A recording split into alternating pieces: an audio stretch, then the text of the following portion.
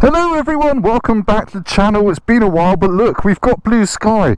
I've got an essential journey to run. I've only got about 20 minutes of GoPro battery, so it's going to be short, but that should stop me chatting as much crap as usual, shouldn't it, really? So I've got, oh, I've got a fuel light on. Oh. I forgot about that. Um, where's the nearest petrol station? Oh, I've got to turn around. Bugger. Calamity averted, I've just done some brain maths and I know where to get petrol on the way to where I'm going because yeah, this is an actual this is an actual essential journey, not an essential journey. Because I've been a bit quiet lately. Because while I was filming the last video on this channel, my review of the Ducati Multistrada V4, my girlfriend phoned me and said, um, yeah, I've been told I've got to go to hospital because I am having a baby. It's not down there, whoops. So I uh, VMAX the Multistrada V4 and I got home super quick and we went to hospital and a day later had a baby. My second, so yeah, I've got I've got two girls now. I'm fully outnumbered in my house and that's why I've been a bit quiet lately but I thought I'd use this as an opportunity to get out on the bike because well, it's dry, it's warming up, it's 13 degrees, the sky is blue and I've got a Hypermotard 950 SP outside my house and I'm bored of driving in the car as fun as it is listening to Al Murray and James Holland do that excellent We Have Ways of Making You Talk podcast which is all about World War II. If you've got half an interest in World War II do check it out. I wasn't really into podcasts until I discovered this but now I am. So yeah, um, baby came about a month early, so uh, in out of hospital having checks and stuff like that. And girlfriend's been staying in there with her. So I'm allowed to go and visit for two hours a day because these unprecedented times in which we live. So that's what I'm doing. I'm going in for a quick visit and then I've got to get home um, to enjoy my other new arrival which just arrived this afternoon. Uh, love of my life, most beautiful, cherished thing I own. A Sony PlayStation 5, yeah. Feels like it's impossible to get hold of one, but I happen to be doing a poo one minute after game.co.uk's website refreshed with some stock, and I still was in a queue for half an hour, but I managed to get PS5. I've not had a PlayStation since I was 12? I got one in 1995. My parents bought me my brother one to stop us squabbling and uh, well we've been saving up for Panasonic 3DO and my dad realised that was a shit thing to do and uh, gave us the extra cash to go and get a PlayStation. So yeah it's just arrived and this isn't going to be a video about PlayStation 5s could be. I'm quite excited about it. Um, oh there's traffic lights. I have got an Xbox Series X as well so I am being Billy two consoles, which is a bit cheeky, but hey. Um, so yeah, I'll give you a bit of an update on the Hypermotard once I put some fuel in it and we can brag it a bit. Goodness me, I do not need the heated grips, or the heating grips as Ducati calls them. Let's just turn them off. It's 13 degrees. I'm wearing winter gloves, hello, because I can only find one of my summer gloves and uh, one glove does not make a pair like, does it? So yeah, I'm wearing jeans, my lovely rocker jeans. It's possibly a little bit too chilly for these, but it's better than wearing loads of Cordura whilst walking around the hospital later. And uh, I'm testing something out. I've got my Kriega rucksack on my back. I think it's the R30 or R25, I can't remember. Basically, because the hospital I'm going to, I don't know, it's uh, I'm not sure it's a Surrey postcode. Yeah, got stuff in my eyes yeah, I'm joking, I'm being snobbish, but um, yeah, I don't want my bike to get nicked, so I've got, as well as a disc lock, my massive Almax chain, which weighs 20 kilos, on my back. And when I bought this chain, I bought it online, I had it, made the mistake of having it delivered to our office at Drive Tribe, which was then near Liverpool Street in London and I used to get the train out of Waterloo which is the opposite side of London. So I had to carry a very small dense 20 kilo object across London at Russia. And I don't think my arms have ever hurt more than that. That was a mistake. So anyway there. That's what's on my back. Hopefully my bike won't get next. Right, I'm going to stop the chat, go and get some petrol, and I'll see you again on some fun roads. Yeah, fun. Inverted commas.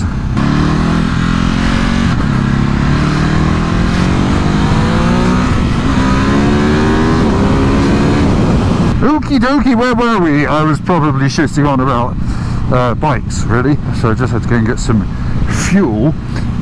Um, interesting thing, I'm obviously back at my Hypermotard. I've had the Ducati Multistrada V4 in, as you might have seen on my channel, did a review of that. Um, and I, I spent a day, actually, a Sunday, with a friend who's a photographer he was helping me with some photos photos and uh, we're basically back to backing them but not obviously make a comparison because one's an adventure bike one's a 14 grand BMX but getting off 170 horsepower V4 20 grand adventure bike onto this this felt just as much fun if not more fun really. There's a there's something about this engine in this 950 which is incredibly aggressive. I don't know if it's the high compression or whatever but this thing is angry. Like that V4 in the Multistrada has got a mental top end. It lifts the front at the top of second the top of third. It's a hooligan adventure bike but this this didn't feel in any way inferior. Obviously it's not as fast but it's still very fast but Multistrada V4 is insane. Um, go and try one out if you haven't because I think it's going to be the bike of the year for most people. Be interesting to see what people make of it. Compared to the GS uh, I think it's just faster smoother. Um, the electronics are just about the same. I like it. But yeah um, so I'm taking a bit of a break from work at the moment. I've got two three weeks off for paternity leave because that's what you get in the UK if your company doesn't want to give you more. Um, but yeah this will probably be my last bike ride for a while now that I've got DOS children to look after one of which is very very small. Take that clutch. But you know hopefully I'll still be able to get out on bikes and do videos and stuff. Um, I've got the Ducati Streetfighter V4 coming in a couple of months because uh, I've just not ridden one and I said to Ducati, I've not ridden one, can I borrow one? They said yes, which is nice. I just got hit in the crotch by uh, wood chipping, which is good. I got wood in my wood. Right, I have to remember where I'm going, so I'm taking a very, very roundabout route to this hospital. Um, uh, have I missed my turning? I think I have. oh, this bike is so silly. Yes, I've missed my turning. I'm now in the land of uh, Porsche Cayennes parked on driveways, which isn't exactly where I want to be. I might turn around at some point. But yeah, it's just nice to be on a bike in the sun. It's so good for the soul, even if you're just pottering around like I am today in 40 limits and whatnot. There's daffodils at the side of the roads, there's Fiat 500s in the middle of the road. So it's glorious time. But yeah, I want to I want to know what you guys have been up to. Have you been out for a ride yet? Because I was out when it was one degree, zero degrees, and it wasn't that bad. So long as you wrapped up and you know had heated grips, it was actually absolutely fine. There's a lot of shit on the road still. Okie dokie, right, I'm just going to turn around because I have gone the wrong way. I said I wasn't going to waffle. I said this is going to be an abrupt video. It might be abrupt, but uh, still full of waffle. Oh, this bike doesn't have as much steering lock. I've got used to that Multistrada, which is like a London taxi. Oh, I want a house like that with a Porsche outside it.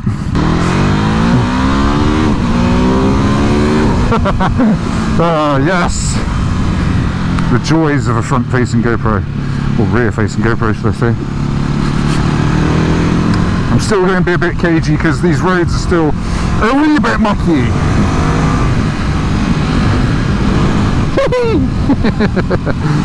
oh dear, I forgot what a dick this bike makes me. Tunnel!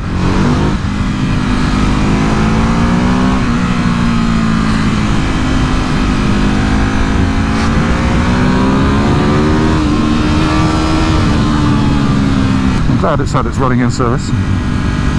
Uh, I should probably talk a little bit about my plans for this bike for the year. Basically ride it as much as I can uh, if I do spend any money on it, it will be a case of stay there, stay there, thank you. It will be a case of um, decatting it. Uh, Arrow does a decat pipe, which is a couple hundred quid. stick that on, to get a bit more noise out of it. I might keep the stock end cans.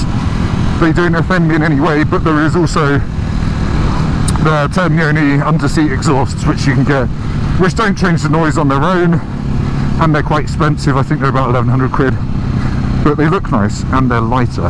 So I'll be tempted to do both of those. You can get the full Termignoni system for this, but I think it's a bit uggers and you lose the rear bits of bodywork. Um, I do like a full system, but I don't know. I like the twin underseat thing, and whenever I've had a bike with twin underseat exhausts, like a speed triple and a street triple, I've always jumped them for a three into one system down one side. And I kind of don't want to do that. I kind of want to keep the twin underseat exhausts for once in my life. And also I shouldn't just be going out spending money on motorbikes because Jesus Christ responsibilities now. Who says having just bought PlayStation 5 and some new microphones. Uh, fuck it let's go. I picked the wrong bit of that junction to turn. Muddy road. Right we're approaching the bridge of inevitable shit wheelies. And it's quite busy so I might not do one might be socially responsible for once. Obviously I don't do intentional wheelies, it's just accidental ones, sometimes get caught out, but yeah. What's quite interesting is uh, going to hospital in 2021 for the birth of a child. I have to get COVID tested, which is quite nice because it's a free COVID test. And I was negative. And the sad thing is, my daughter came out after five days in hospital um, a week old. And then she had to go back in for a couple of days this week for a couple of checks. And uh, she had to have a COVID test. At the age of a week.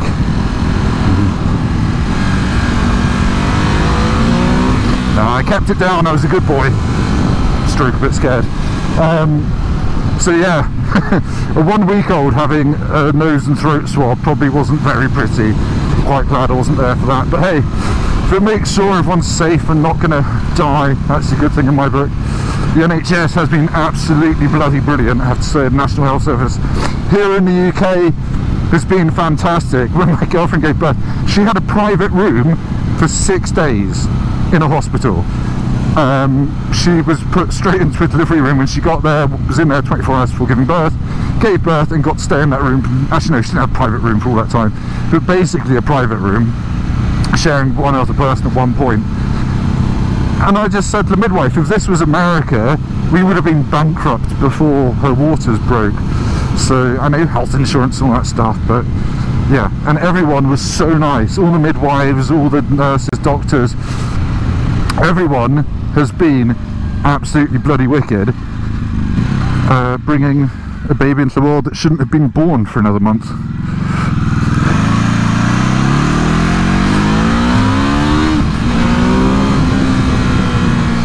But yeah, actually, yeah, like I was saying, sorry, I went on a massive ramble there.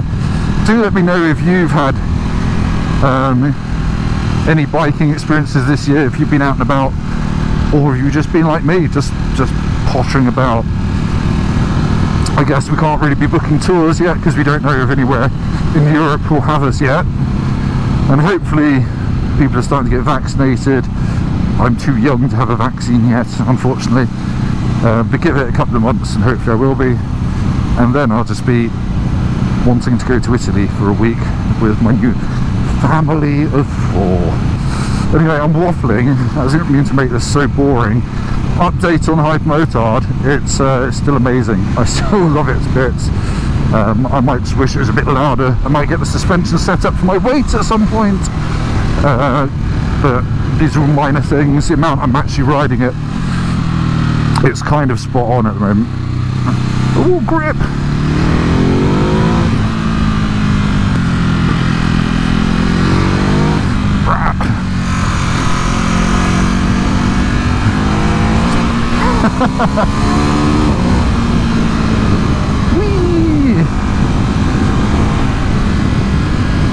Yeah, um, when dealers reopen, do you go and have a go on Hypermotard because even if it's not your bag at all, it's a different type of biking.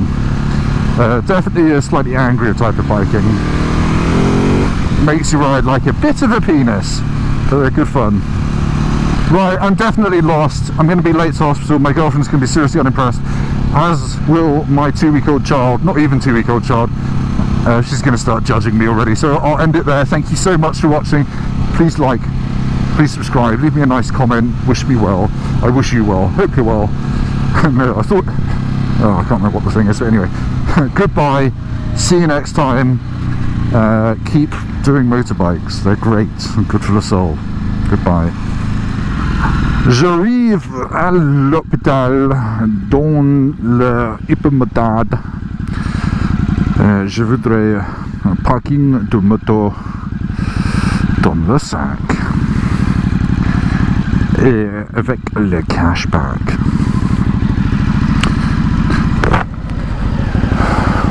Oh. Toyota UK has a Yaris of that generation in that colour and it's only got 30 miles on it or something. It was never driven. Isn't that a fun fact? Isn't that what you subscribe for? Subscribe, like, comment. Let's deploy my massive chain. Oh, I love a Bobber. Triumph Bobber, such a good bike. Handles much better than you would think. Although it is unbearably uncomfortable for me. At 80 on a motorway, my legs just get split apart like a piece of fresh timber. Alright, see you later.